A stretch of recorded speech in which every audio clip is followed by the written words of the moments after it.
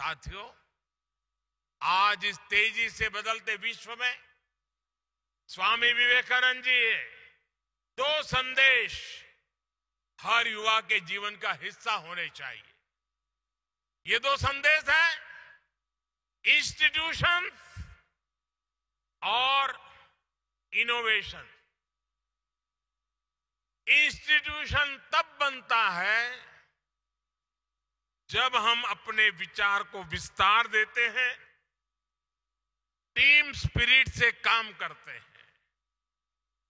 आज हर युवा को चाहिए कि वो अपनी इंडिविजुअल सक्सेस को टीम सक्सेस के रूप में विस्तार दे। यही टीम स्पिरिट टीम इंडिया के रूप में विकसित भारत को आगे ले जाएगा। मेरे युवा साथियों, आपको स्वामी विवेकानंद की एक और बात याद रखनी है। इनोवेशन के लिए भी स्वामी विवेकानंद जी कहते थे, हर काम को तीन चरणों से गुजरना पड़ता है। उपहास, विरोध और स्वीकृति। और अगर इनोवेशन को एक लाइन में परिभाषित करना है तो वो यही है।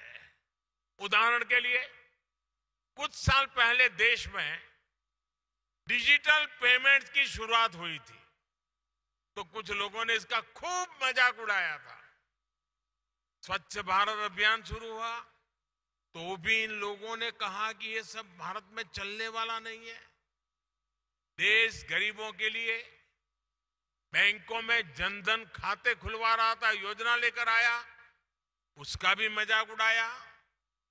कोविड के समय हमारे वैज्ञानिक स्वदेशी वैक्सीन लेकर आए तो उसका भी उपहास किया गया कि ये काम भी करेगा या नहीं।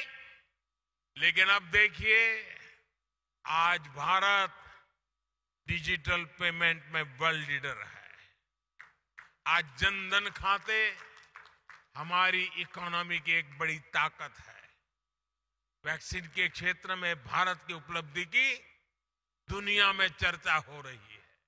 इसलिए आप युवाओं के पास अगर कोई नया आइडिया है तो याद रखें कि आपका उपहास हो सकता है, विरोध हो सकता है, लेकिन अगर अपने आइडिया पर आपको यकीन है तो उस पर टिके रहिए, उस पर भरोसा बनाए रखिए। आपकी सफलता मज़ाक बनाने वालों की सोच से कहीं बड़ी साबित होगी।